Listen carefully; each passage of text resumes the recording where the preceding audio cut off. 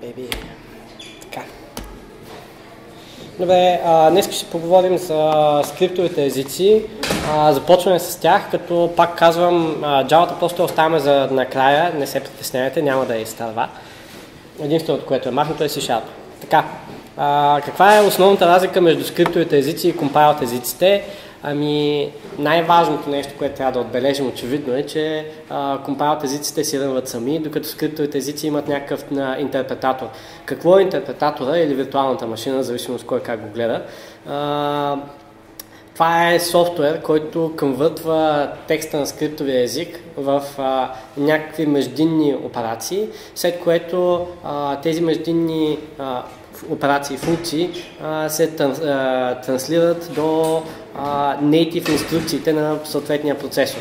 Съответно, готиното на скриптовите езици е, че пишете на един скриптов език и просто компилирате интерпретатор за 32-битова архитектура, за 64-битова архитектура, за ARM архитектура, за ARM64, за риск и така нататък.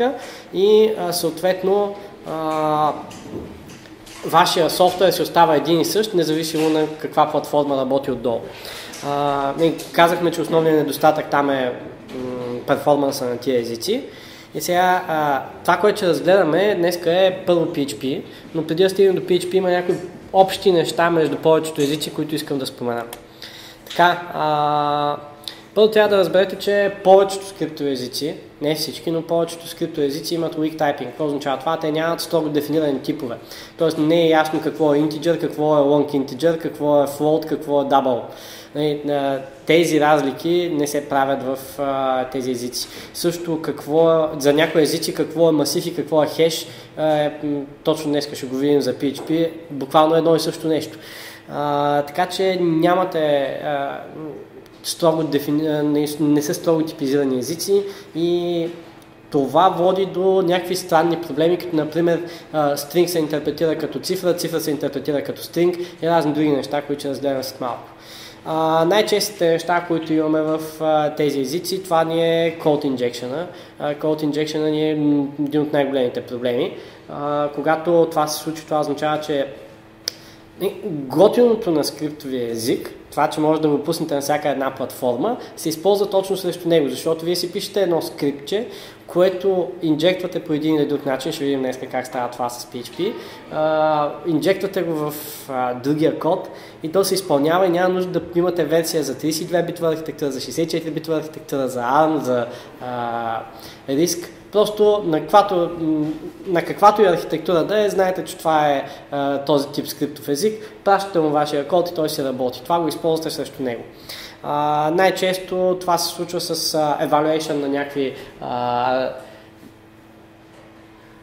на някакви стрингове, които реално са а, код. Но ако гледаме контекста днес на PHP, това ще бъде PHP код да бъде evaluated вътре в а, контекста на вашия application.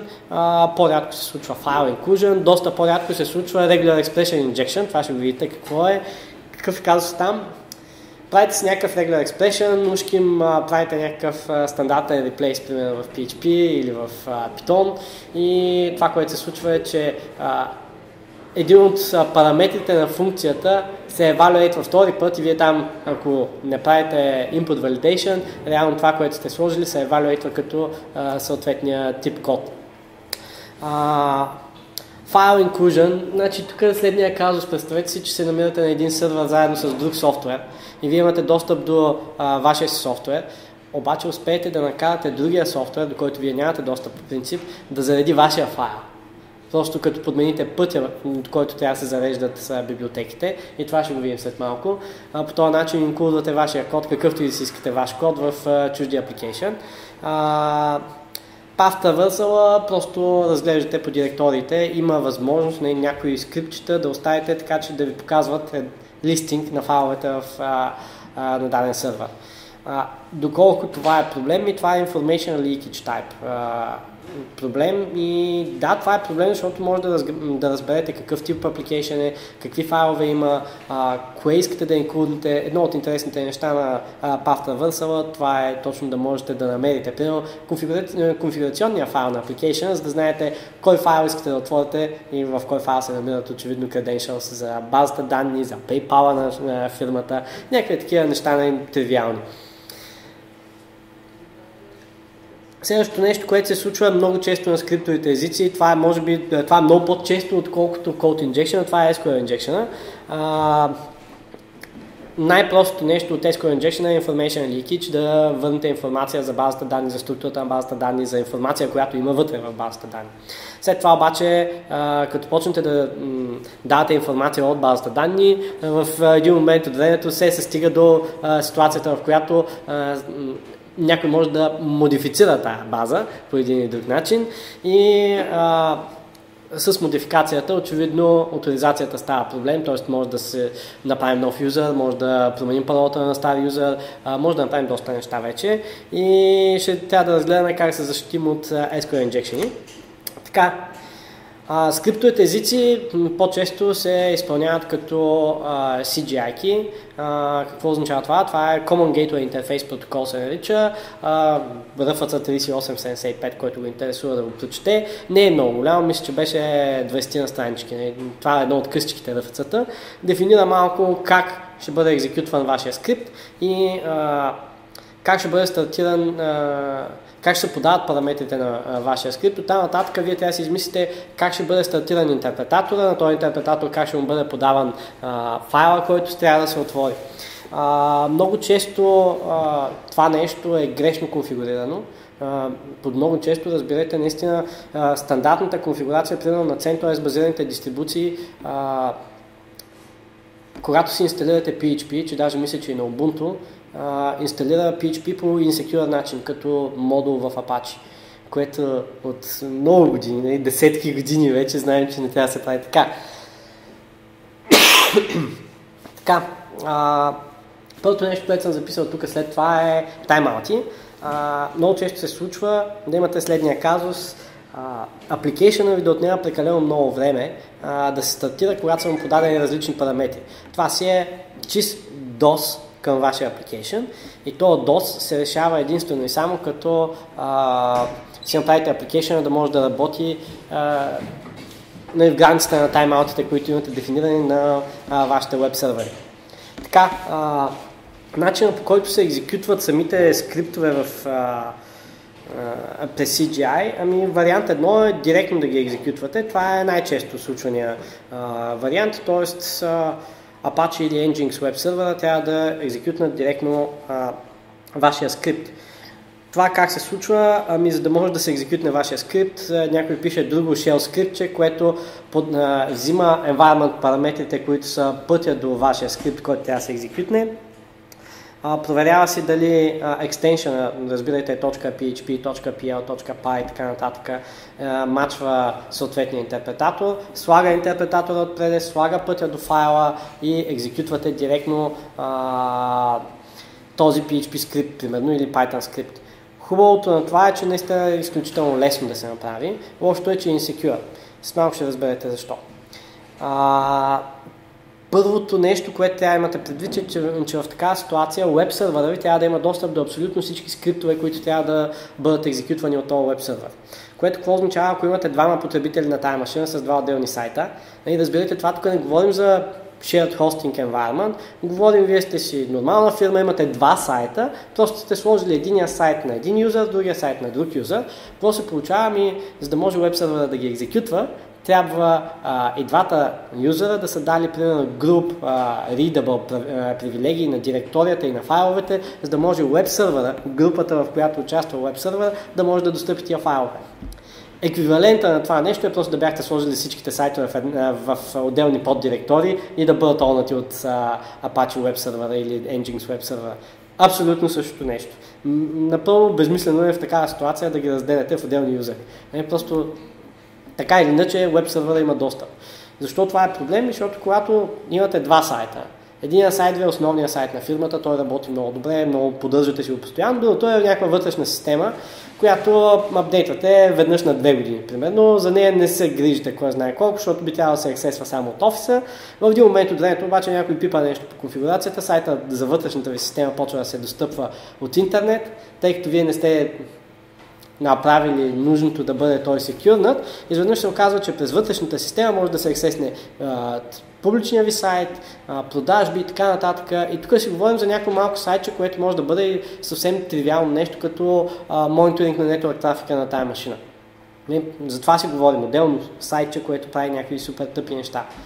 А, в тази ситуация този ви тривиален софтуер се използва да бъде атакуван другата, другата част от а, инфраструктурата ви.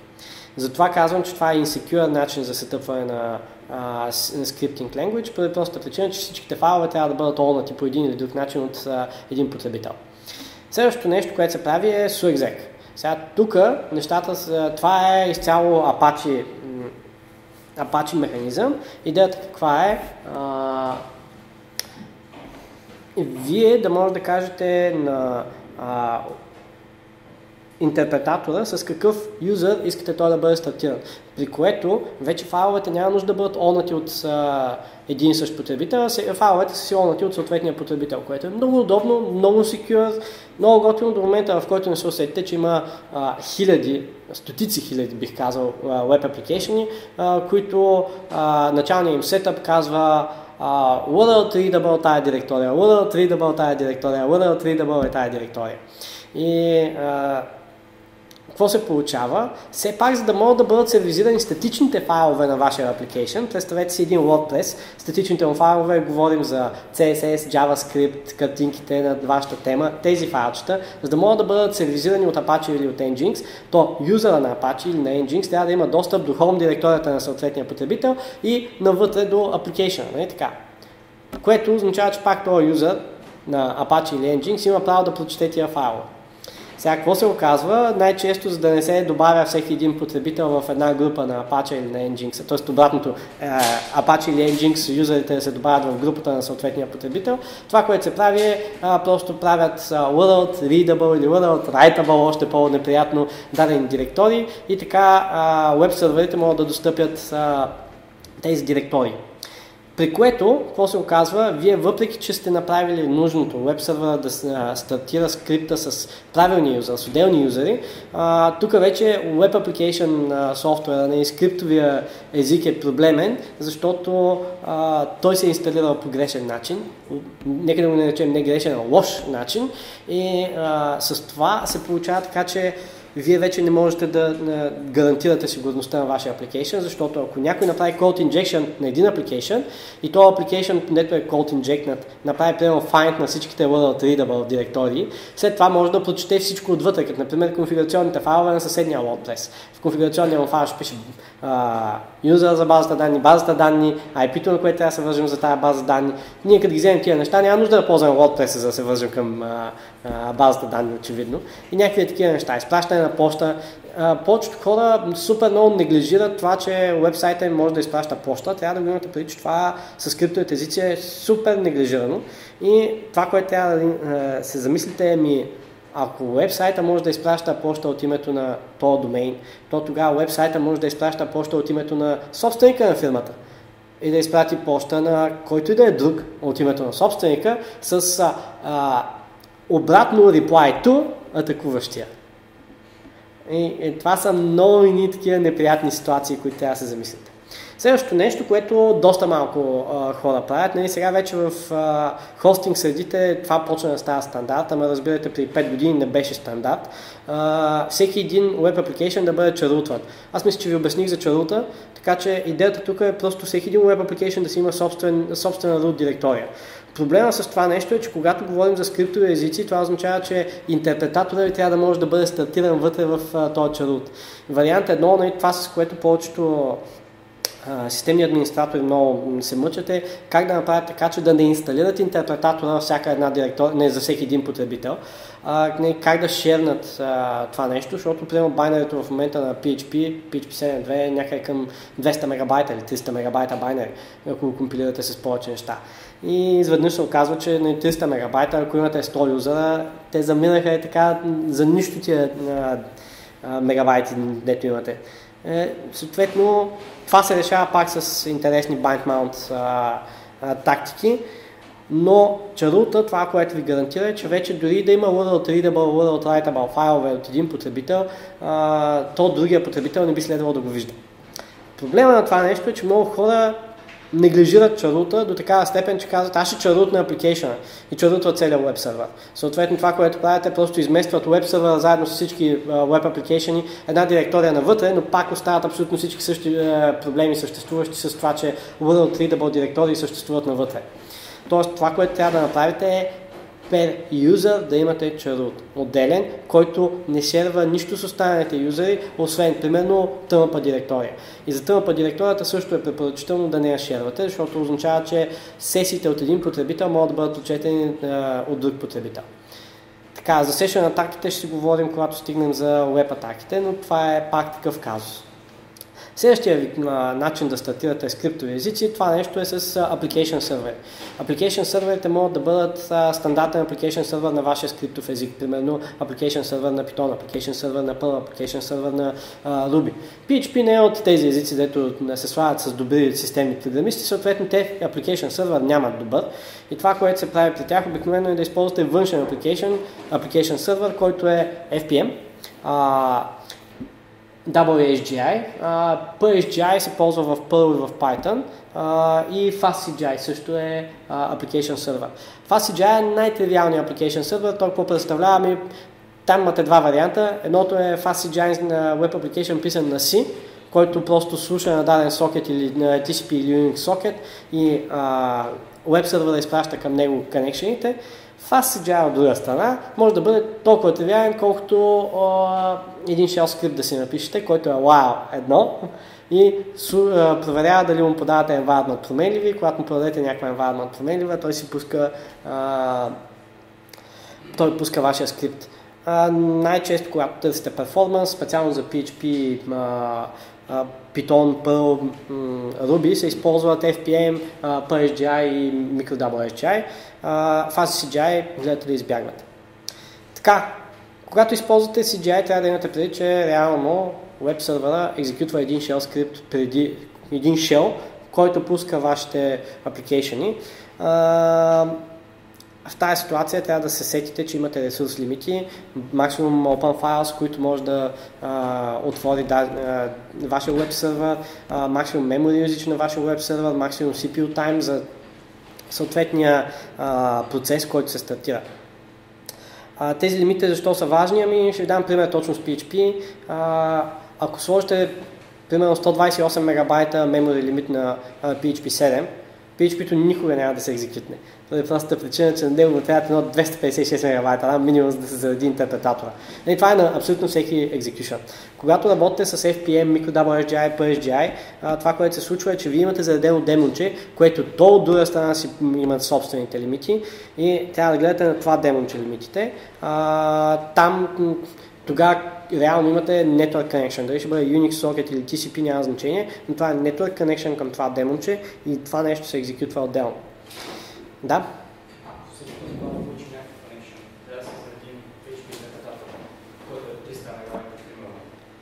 Значи, че няма шанс за 16 мегабайта, обслужа максимум 60 конекции.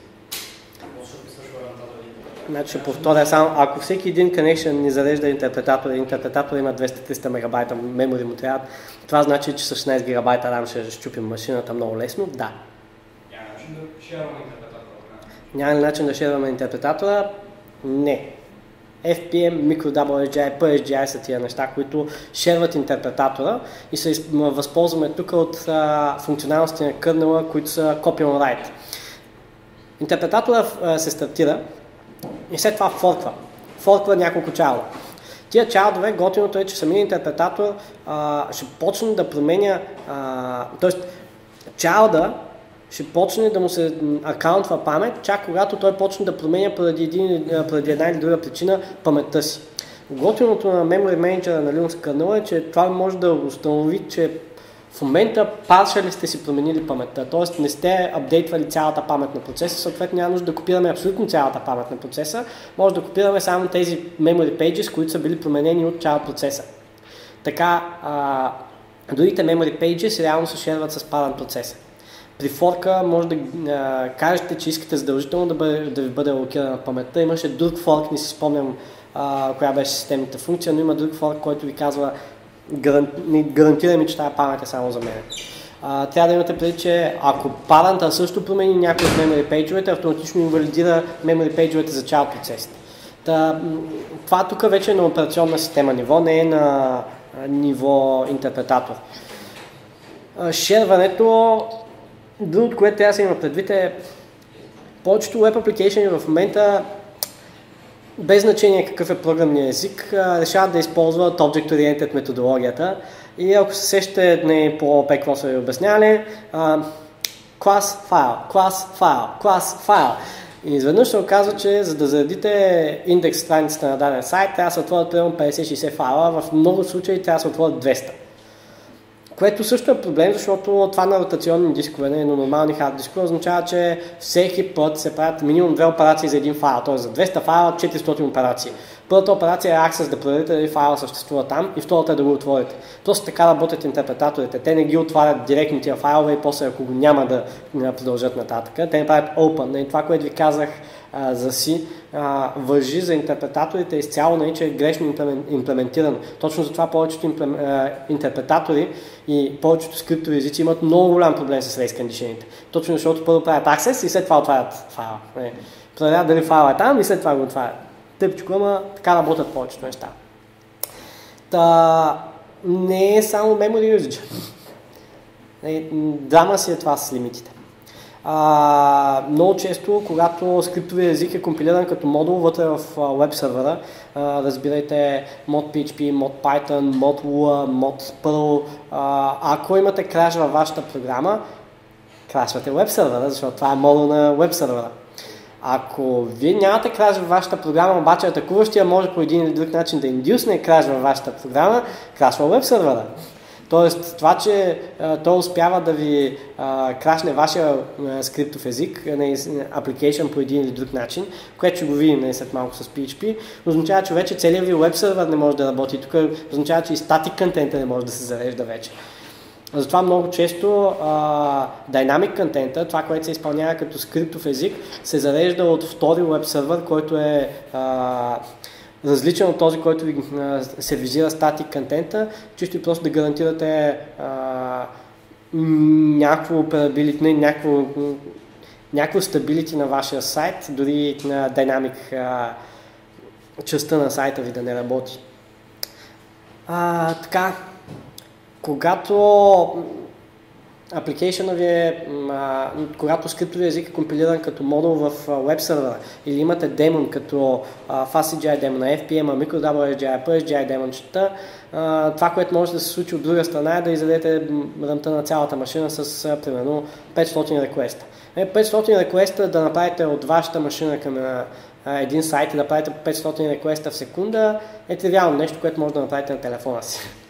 Съответно, ако това не е предвидено и не е сметнато на нали, ресурсите, които ви трябват не са пресметнати, много бързо един динамичен сайт може да бъде съборен с просто малко повече реквести. И тук наистина говорим за много малко повече, да? Опера имаше една функция Opera Turbo, когато ти връзката генера много заявки и знам, че някои сайтове такива.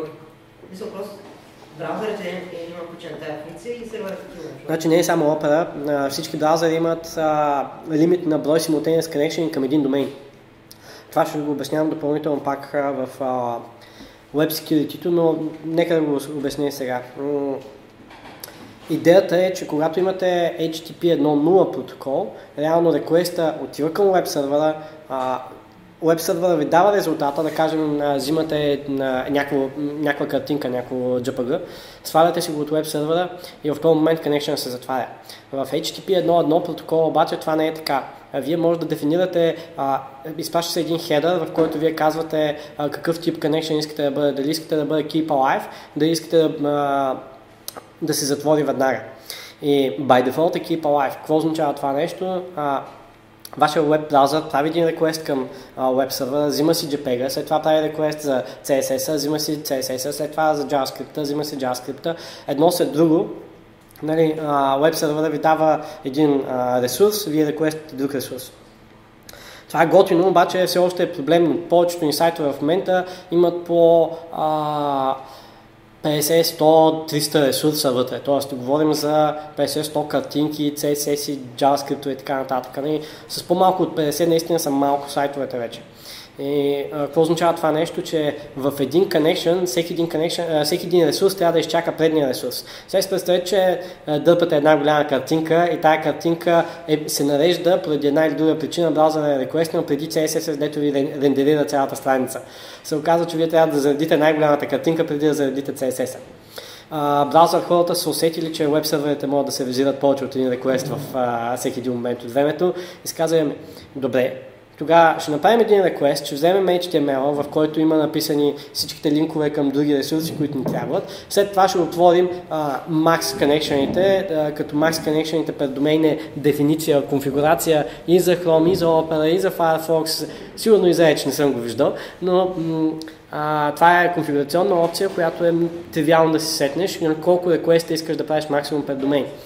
А, това, което е готиното в тази ситуация, е, че браузъра прави всичките а, примерно 5, 10, 8 а, едновременно и взима по максимум а, по броя connection ресурси едновременно.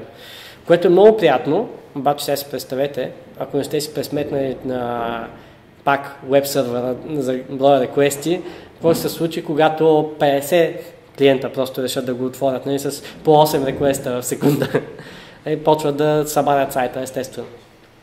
Та, не само Opera, всичките браузъри го имат това като стандартно и това е performance benefit, защото иначе за всеки един connection трябва да направиш freeway handshake преди изобщо да а, получиш някакви данни. Трябва да имате преди, че всеки един connection пък допълнително съфърва заради congestion control, congestion avoidance алгоритмите и съответно за да нямаме чак такива проблеми а, HTTP 1.1. HTTP 2.0 от друга страна е още по-брутален в това отношение, защото той прави един connection, но в този connection прави максимум брой requests per, е, per домейн. Съответно в този connection към това IP, това IP може да хоства примерно 5 отделни домейна и вие да сте отворили всеки един от тия 5 домейна. За всеки един от тия домейни браузъра ще ви направи по максимум брой реквести, реквести от веб сервера.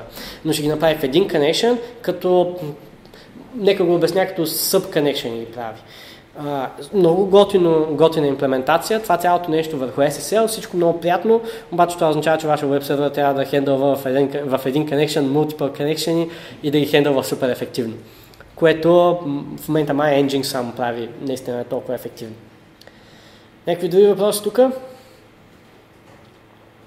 Добре. А, с интерпретаторите има бая проблеми, ама под бая разберете наистина много. Аз тук съм извадил просто някакви инфарктни ситуации през годините, които показват колко а, некадърни могат да бъдат а, имплементациите. А, тук първото е CV от 2005 година за Python. Какво се случва? А, подавате един специфичен параметр и Python си казва абсолютно всичко. Версията, къде се намира файла. А, много прекрасен information disclosure за вас просто подавате един допълнителен параметр в URL-а нали, на сайта. Знаете, че това нещо рънва Python, Добре, подавате му този параметр. Не знаете, че рънва този Python, подавате му този параметр и той ще ви каже, че рънва Python. Разбирате ли? Това е а, готиното на този information а, disclosure. PHP, а, това тук мисля, че също е 2005-2004 година. Ако викнете интерпретатора без а, никакви параметри, което е възможно да направите в един от сетъпите на PHP, а, то просто стартира интерпретатора в а, Lyle 1. Нали, то не е 1, защото прави слип вътре, а, буквално изяждате connection. Представете си, сега това остава един от процес, дето яде ресурси на машината ви. Сега единственото нещо, което трябва да направите е да измислите нали, как да подадете е, толкова реквести, колкото е максимум броя реквести, които може да хендва веб сервера. И тук говорим за лимита на веб сервера, а не за лимита на ресурсите, хардуерните ресурси на машината. И изведнъж ще окаже, че може да изведете всички възможни коннекшени на веб сервера, като просто стартирате на брой а, такива процеси. И това, което се случи, като се логне администратор, ще ви, а, тук PHP-то ни е забил и какво ще направиш да работи сайта? kilo-9 PHP. Сайта ще почне да работи, ще всичко е 6, няма проблеми. И а, вие ще се събудите на следващата сутрин в 9.5, ще кажете, а чай да пусна моето скрипчен, горе Enter. Ще направите всичките екзекюшени, ще го затворите и админа в 9.10, примерно, като му казват, че пак е даун сайта, ще се логне на машината, ще види отново, че всички процеси, всички PHP са забили, ще види, че в момента вървят реквести към вашия сайт и те не, не могат да бъдат обработени, връщате им грешка и ще каже, ага, ами значи има пак някакъв проблем с PHP application, трябва да се свързва с програмистите. Той ще тръгне да говори с програмистите, но проблема изобщо не е в, тях. Не? Това е грешен сетъп на а, PHP. А, съжалявам, наистина съм малко зле. Така, а, за 99-та година, тук се връща не, много назад, съжалявам за това, обаче все още има някои сетъпи, които съм виждал, изненадващо, особено на а, embedded девайси, разбирате, Internet of Things bullshits. Така, хората не са си взели урока от 99-та година, това даже 96-та е открито, но не, хората 99-та пускат CV за него. PowerShell, CSH, ZSH така нататък интерпретатори, защото тези всичките са интерпретатори, са публично достъпни. Те се намират в една директория, която е well-known, казва се CGI-bin.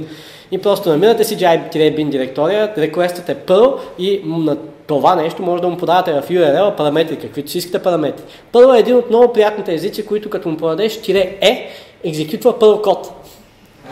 Така, CSH, Bash, така нататък, всички тези също поемат, имат така опция да им подадете параметри, да изпълнят съответния скрипт, съответния текст от скрипта да го евалюейтнат и да ви изпълнят кода. Съответно, какво се получава от insecure на сетъп на веб сервера, а, грешно сложени интерпретаторите, се оказва, че вече имате достъп до тази машина да правите абсолютно всичко. Защото на вас са ви оставили интерпретатора и вие може да си пращате през URL-а.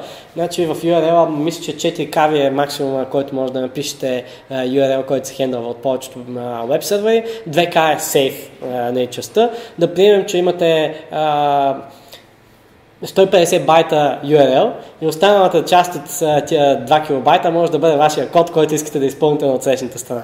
Примерно с първия request ще си направите първо скрипче, което да ви е shell на тази машина, с, а, след това ще екзекютнете това shell, с няколко реквеста и ще почнете да качвате, да изпълнявате систем команди, въобще омвате машината ей така.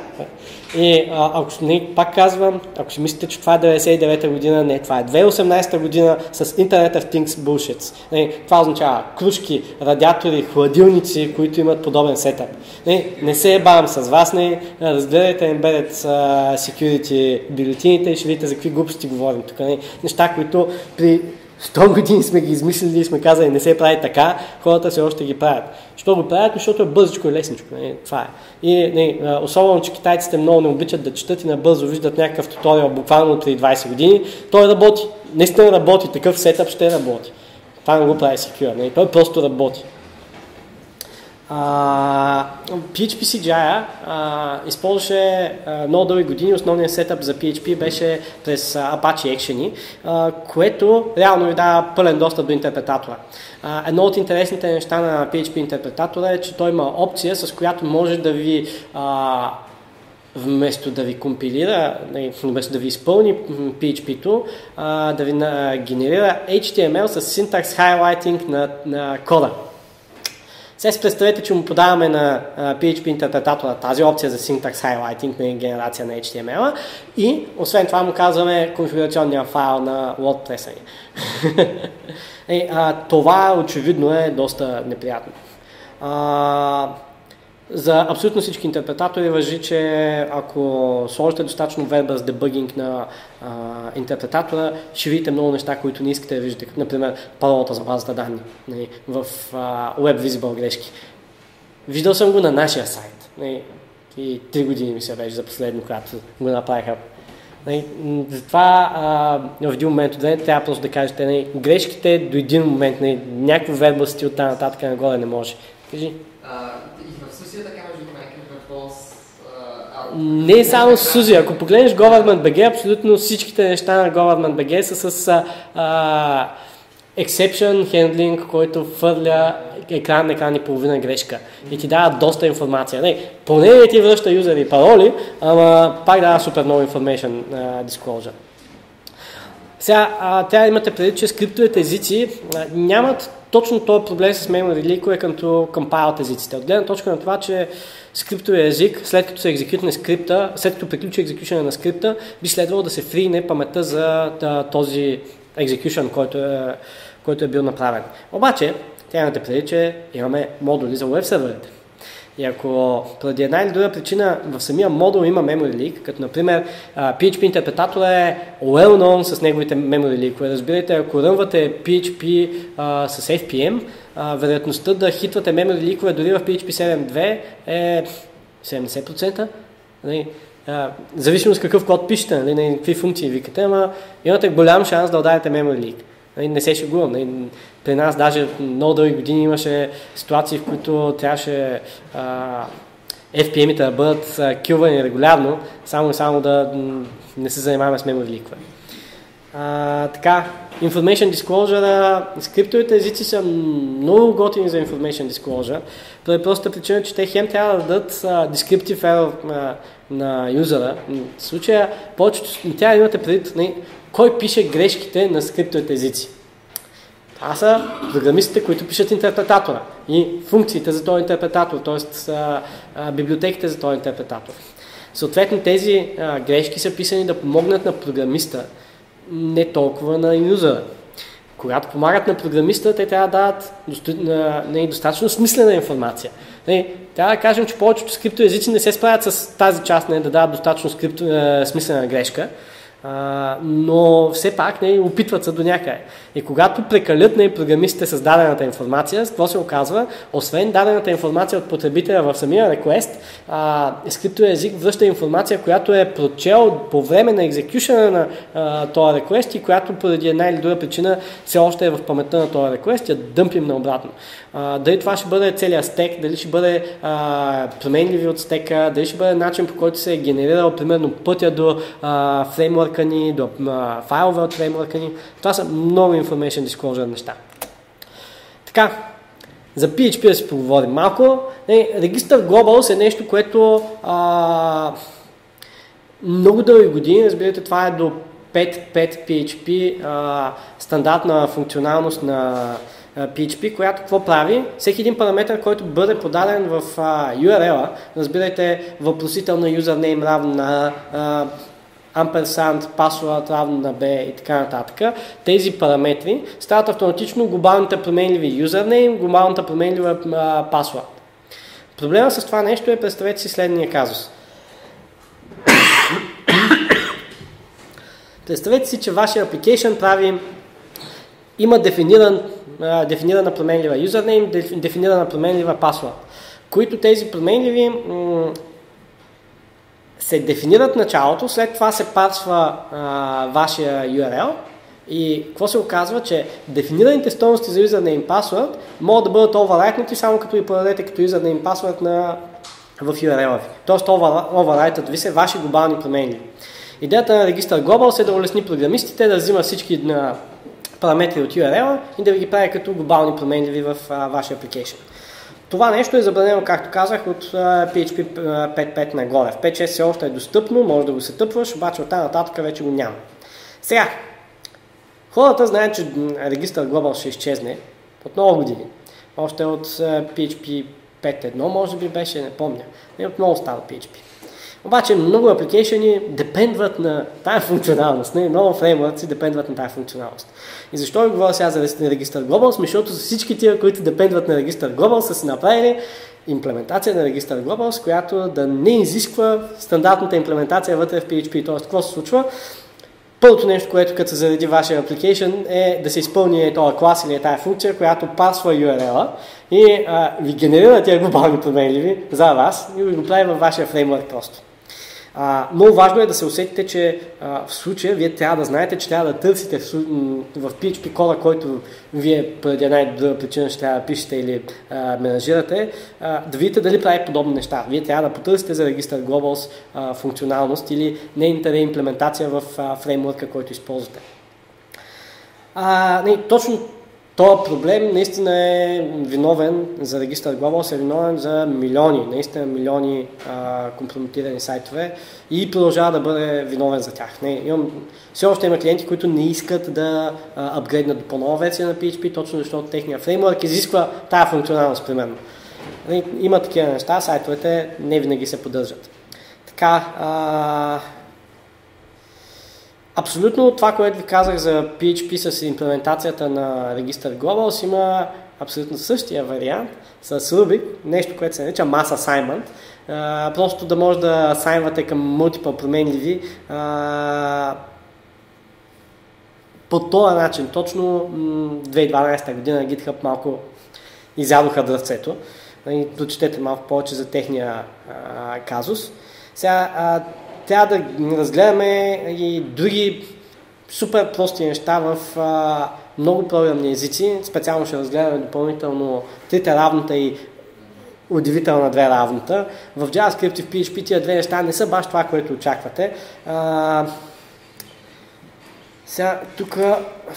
Добре, секунда. Ще отворя самия текстов файл, защото не се е изгенерала като хората. Презентацията, съжалявам за това. Ще го правим. Така... О, преди тия неща се трябва да обясня тия тук bad handling of environment и е това тук. Добре, първо а, много кофти имплементации в интерпретаторите на системни функции. Разбирайте интерпретаторите, за да могат да работят, те какво правят? Взимат някаква C библиотека или C++ библиотека и ви използват тези системни функции, тези C, C++ функции, ви ги а, използват вътре в а, вашия а, интерпретатор, за да могат да бъдат използвани от а, съответния програмен език. Не представете си неща като а, STR CMP, STR POS, не стандартни си функции, вие искате да ги имате вътре в съответния език, примерно в PHP или в Ruby и така нататък. Да приемем, че искате да ги ползвате, обаче някой е направил грешна имплементация на викането, т.е. подаването на параметрите към а, системната функция тъй като вие нямате контрол върху подаването на параметрите, само това, което е направил самата функция на си, дето е писал интерпретатор, има контрол върху тия данни, се оказва, че вие неволно може да използвате несигурна функция. Най-известното нещо, за което знам аз е в PHP, много от image функциите и до ден днешен, ако им подадете картинка, която има MIME type картинка, обаче след MIME type си започва с PHP код. Този PHP код ще бъде евалюетнат до PHP, не, като, ще бъде прочетен от интерпретатора като PHP код и чак след това ще бъде викната а, вашата image handling функция. А, просто абсолютно същия казус го имаме в Python. Нали, грешна имплементация там а, води до а, code injection в а, а, Python, т.е. генерирате си картинка отново, тя започва с там 2 байта или 4 байта беше MIME type и а, след това директно започва Python кода или PHP кода и този PHP код може да прави всичко, каквото си пожелаете, каквото вие сте си написали. Тъй като това е upload, трябва имате преди, че обикновено файл сайза там е поне 2 мегабайта, съответно вие може да аплоднете богато количество код наведнъж и да си го екзекютнете.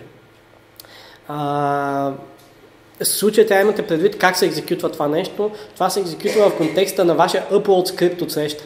Съответно, пак забележете, че тези проблеми всичките са input валидация. Не? Никой не е валидирал инпута, защото как валидираш картинка? Ами хората я валидират като проверят MIME type. Нали? Аз всички програмисти, които познавам, те валидират или екстеншън на файла, което е още по-зле, или а, контента му, като гледат MIME type. И оттам нататък казват окей и го подаваме след това на а, нашата image функция. Когато говорим за този тип проблеми, трябва да имате предвид, нали, че тя знаете, че такива проблеми съществуват и когато знаете, че такива проблеми съществуват, трябва да направите валидация дали това е имидж. Как става валидация дали това е имидж? Ами имате допълнително външни функции, с които може да проверите контента вътре дали е имидж. Това е вариант 1. Или вариант 2 е да гледате от другата страна, това е whitelist подхода. вариант 2 ви е blacklist подхода, да видите дали контента вътре има текст, който е съответния скриптов език. Ако има текст, който е скриптов език, ами като има напред, че това са байнери файлове и не би следвало да има текст вътре, ми е бана работа. Ти имаш въпрос тук? Не, просто че да питам как точно валидиране, на как най-добре начин някакъв файл, снимка или някакъв image. Тя имате предвид особено, когато програмният ви език позволява не, да приемем PHP или Python, не, тия два езика. Не, когато кажа програмен език, визирайте тия двата. Програмният ви език има функция, която е да вземете get image info, примерно, да кажем така се казва. И тая функция отваря файла и а, преди да го обработи нататък, а, решава да види не, а, контента му. Тя имате преди, че това вече се екзекютва в контекста на вашия интерпретатор. Съответно, ако проблема е по-генерален с имплементацията на библиотеката, както е в случая на тия два езика, а, това също е vulnerable. Съответно, това, което правите е аплоуда се картинката. Аплоуда как работи, а, да вземете HTTP пост с променливите чайци, само това тук го имам. Е, Секунда да видя къде го беше оставил Жоро.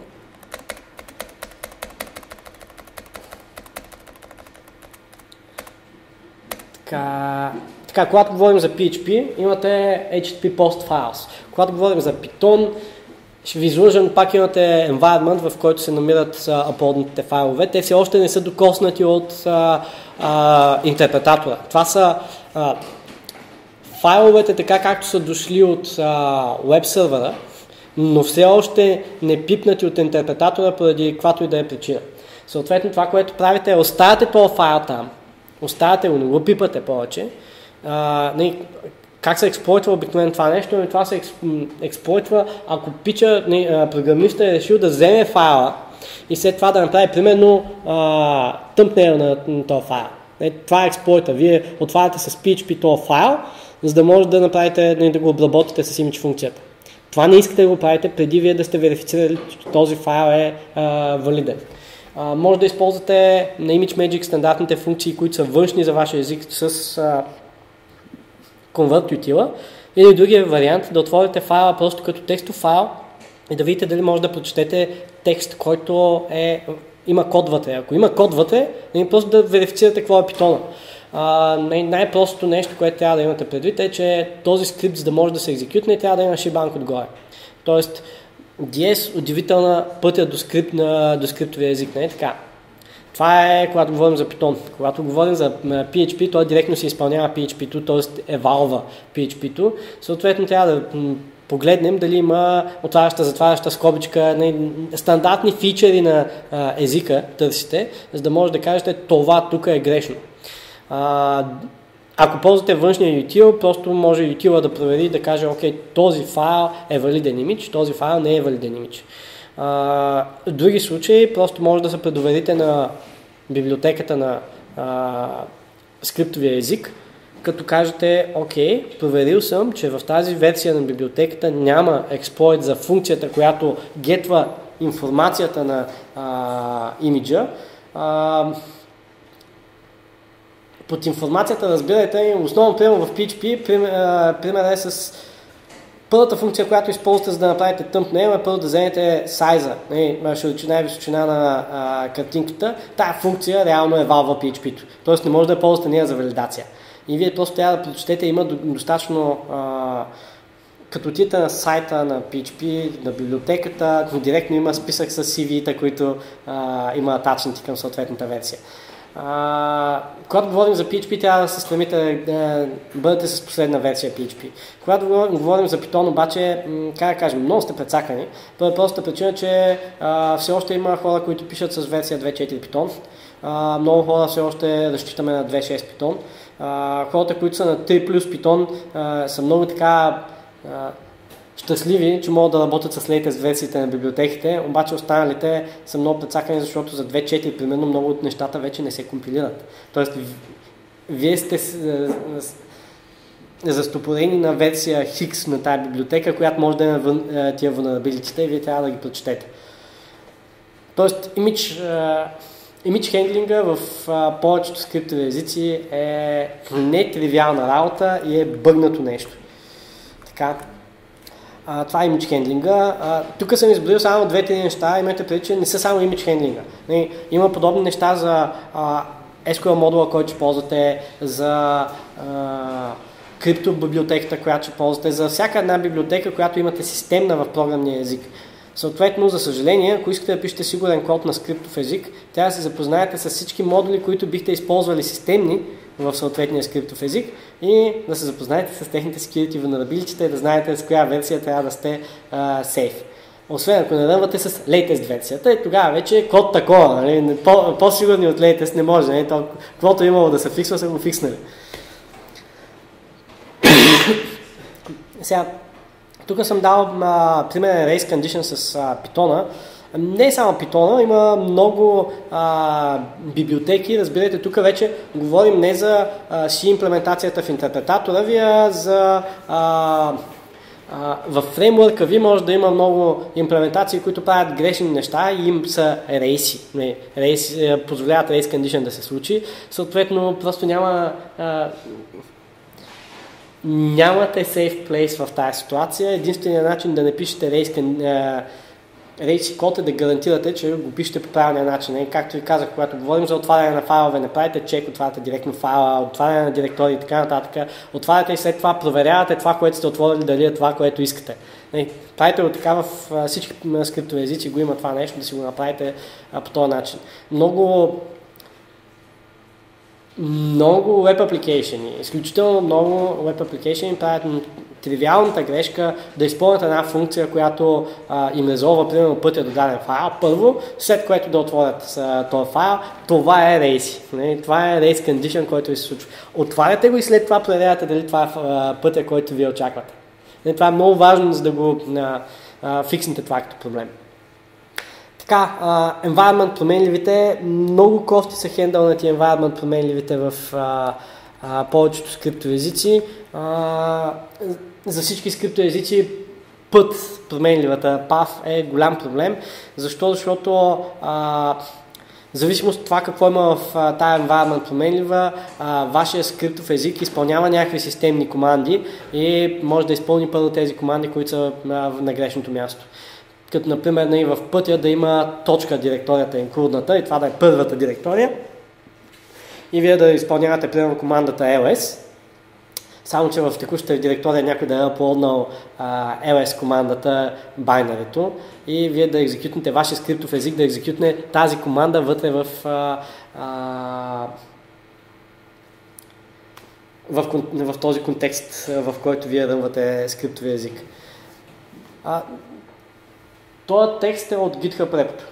Нали, да не си мислите, че нещо друго показвам. А, за първо има няколко специфични а, допълнителни променливи. А, това е PurlLib и PurlPetOpt. PurlLib е директорията, в която се търсят Perl модулите. А, абсолютно същия казус като с а, екзекютването на командите, само че тук просто зареждате, може да заредите лог модули. Тоест, ако поради някаква причина можете от, а, в URL да продадете environment променлива път и тя да бъде подадена надолу на интерпретатора, Еми, кофти. Не би трябвало така да се случва. А, за съжаление, повечето имплементации, които аз съм виждал, примерно на SUREXEC, който би трябвало да филтрира подобни неща, а, ми не ги филтрира. Съответно, вие каквото се продадете през веб, това нещо пристига до а, скриптови език. Сега тук трябва да имате преди един друг вектор на атака върху скриптови език и то е configuration change на веб сервера. Представете си, че говорим за веб сервер Apache и той позволява вътре едни магически файлове в всяка една директория, които се казват Hutter Access файлове. Тези Hutter Access файлове са файлчета, с които може да слагате различни параметри на а, настройки на веб сервера за текущата директория. Едно от интересните неща е, че може да светвате environment промени вътре и ако аз поради една или друга причина мога да пиша в този файл по някакъв начин, мога да запиша, ами изплати еди клас environment променлива и да ви преба на web application и цялото security без никакъв проблем. Как се фиксват проблемите? Очевидно също така си ги имаме с Python, а, а, Perl 5 Opt е допълнителните option модули на Perl 5. А, Python Home е къде ви се намира Python интерпретатора, който искате да използвате, защото той си го вика сам допълнително още веднъж. Python Path е библиотека, къде са библиотеките. Ruby абсолютно също така си с библиотеки, самия а, а, Ruby интерпретатор и интересното е, че Ruby има и Shell интерпретатор, съответно и този Shell интерпретатор, къде се намира, вие може да ги подмените всяко едно от тия с environment променливи. Как се фиксва това нещо? Вашия софтуер винаги си дефинира статично какви са тези стойности и изобщо не вярвате на environment. environment не е нещо, на което, на което трябва да му вярвате. Вашия софтуер би следвало да знае, че как се работи това нещо. Проблема идва пак от Object Oriented подхода, където трябва да заредим 11 000 файла, за да може да заредим съответното нещо, където library path за, а, нашите класове се а, взима базирано на някакъв relative path, който се взима базирано на environment, променлива много често, която е имам production седа, имам тестинг седа, имам експериментал седа и така нататък.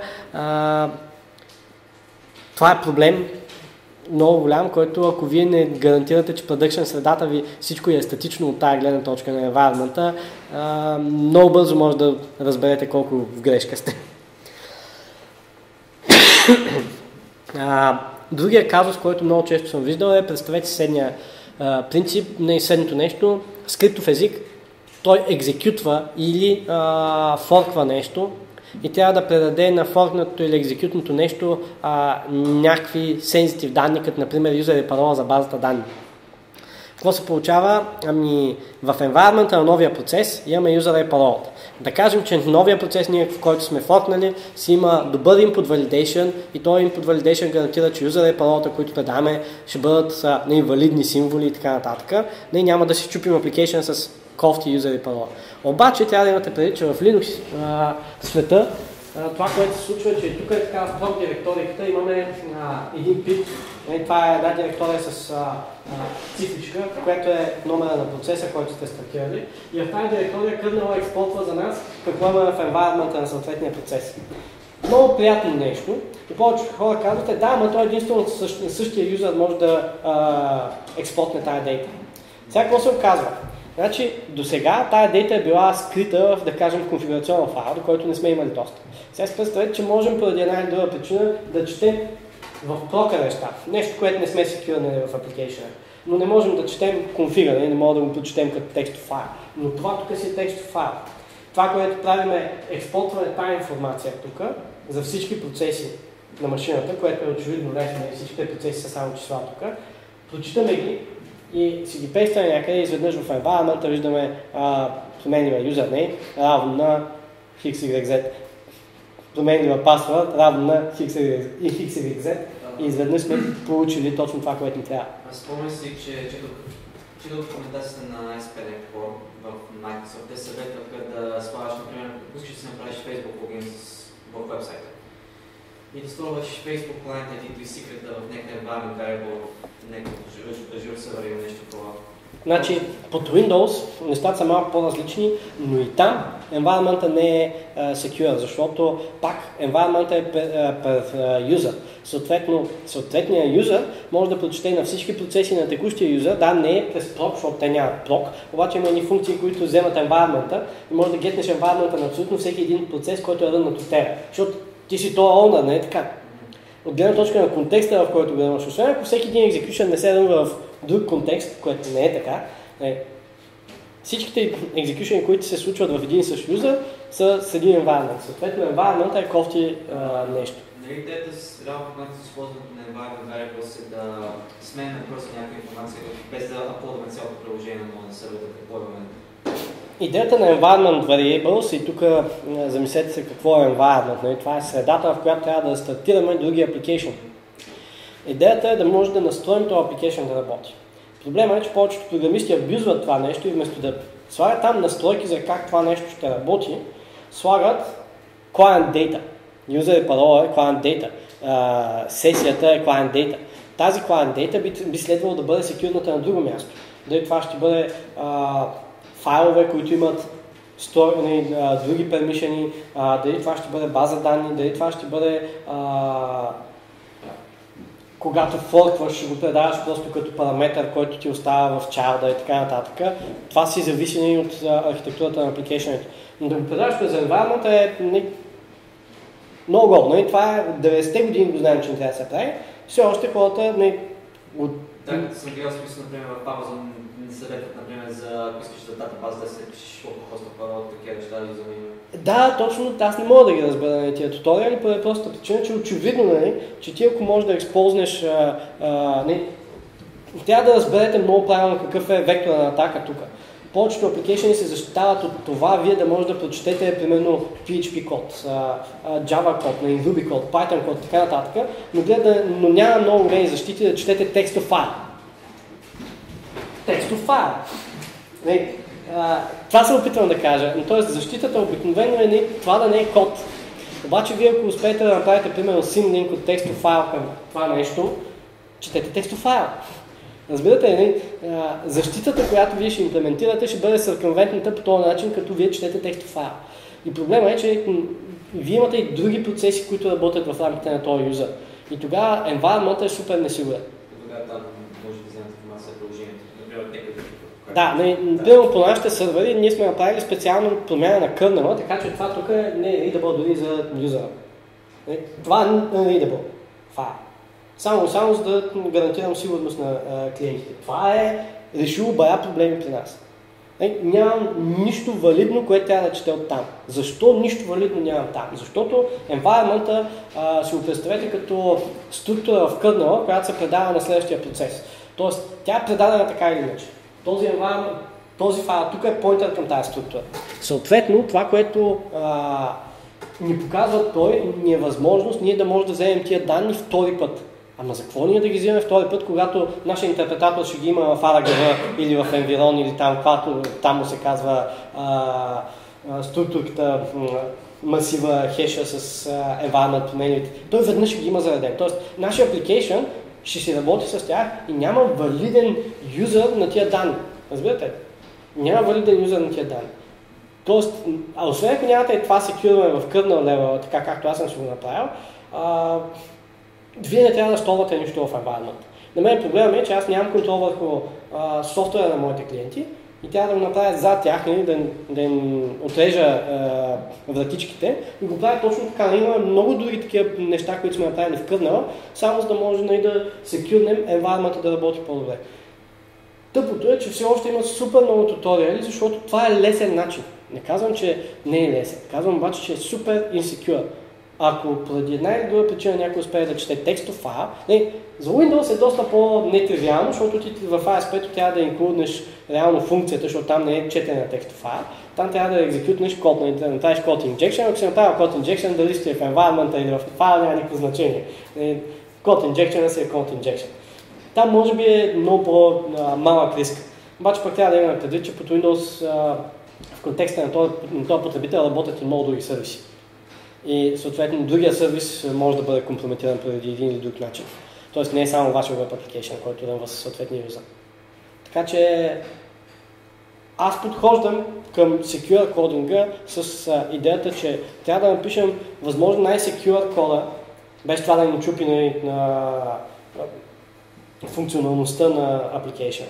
И сега дали ние ще си предадем environment в environment или по друг малко по-секюрен начин а, тия променливи, еми, може би ще бъде няколко реда в повече, обаче пък ще ни гарантира сигурност тук.